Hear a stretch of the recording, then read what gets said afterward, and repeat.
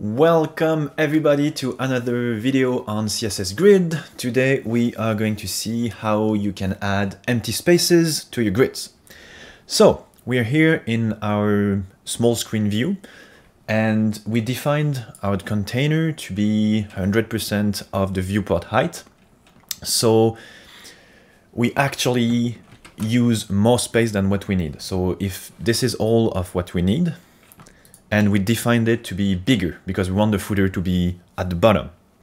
So what Grid does when you uh, define something automatic is it's going to take um, the what you need in terms of height, but if your container is bigger than what you have, it's going to stretch everything.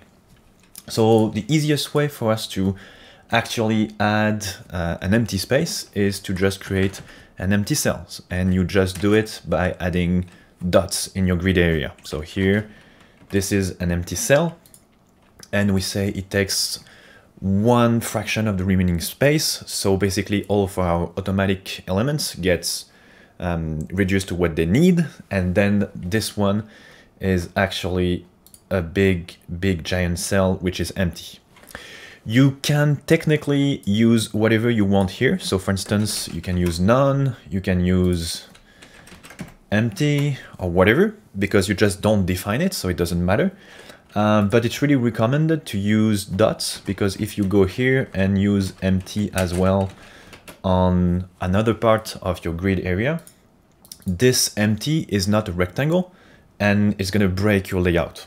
And if you go here and you use dots, it doesn't matter how many dots you have, it's gonna work just fine.